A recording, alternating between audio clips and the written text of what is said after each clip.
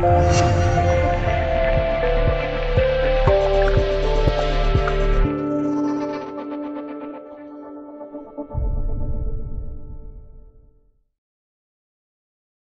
宁舰等主力战舰是否参加阅舰式备受关注。本报记者郭月丹，随着四月二十三日中国海军成立七十周年纪念日临近，有关中国海军的一举一动都受到外界关注。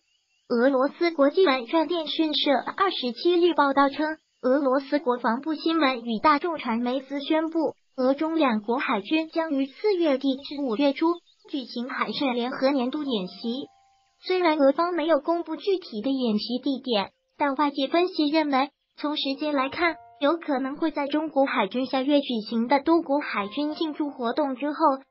报道称，有中国海军少将严正明率领的中国海军代表团，此前已经抵达圣彼得堡，与由俄海军少将亚历山大舒瓦诺夫率领的俄太平洋舰队海军总指挥部的军官代表团进行磋商。两国代表从三月二十五日开始磋商演习各阶段的筹备事宜。在海上联合赴两千零一十九演习期间，俄中两国海军官兵将演练联合机动、组织通信、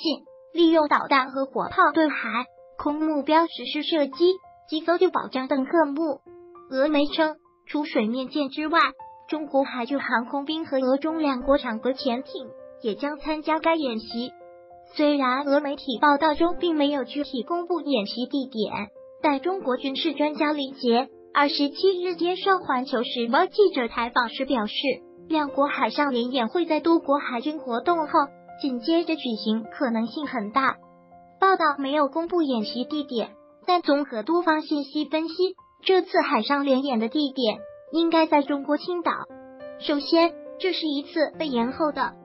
演习。在二零一八年四月，中国国防部例行记者会上，新闻发言人吴谦证实。中俄两军计划年内在青岛举行海上联合赴两千零一十八海上联演，但此后这场已经在计划内的联合演习并没有如期进行。在二零一九年二月，中国国防部记者会上，环球时报记者曾询问今年是否会进行中俄海上联演，国防部新闻发言人任国强回应称，具体合作项目我们正与俄方保持沟通协调。其次。中俄海上联合系列军事演习自二零一二年开始举行，目前已成为常态化机制，是中俄双边框架内最大规模的联合军演。该军演每年一届，轮流在中俄相关海域举行。按照轮流机制，海上联合赴两千零一十九演习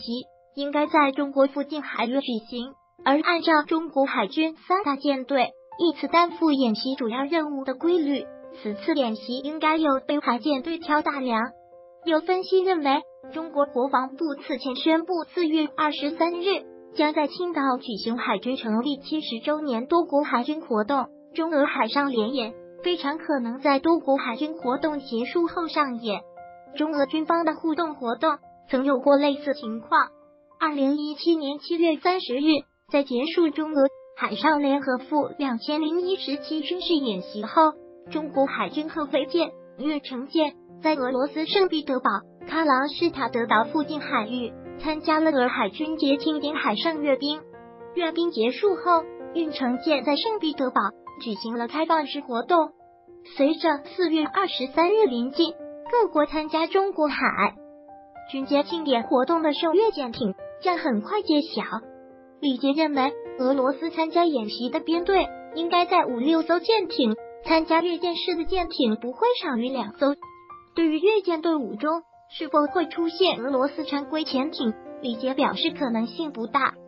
此外，菲律宾方面有分析预测，将会派出目前排水量最大的舰艇战略海运舰，而中国海军将派出哪些主力舰艇参加，更是受到关注。甚至网络上还有猜测，是否会有双航母加万吨大驱参加。不过，这可能都要等到中国军方官方发布才能揭开谜底。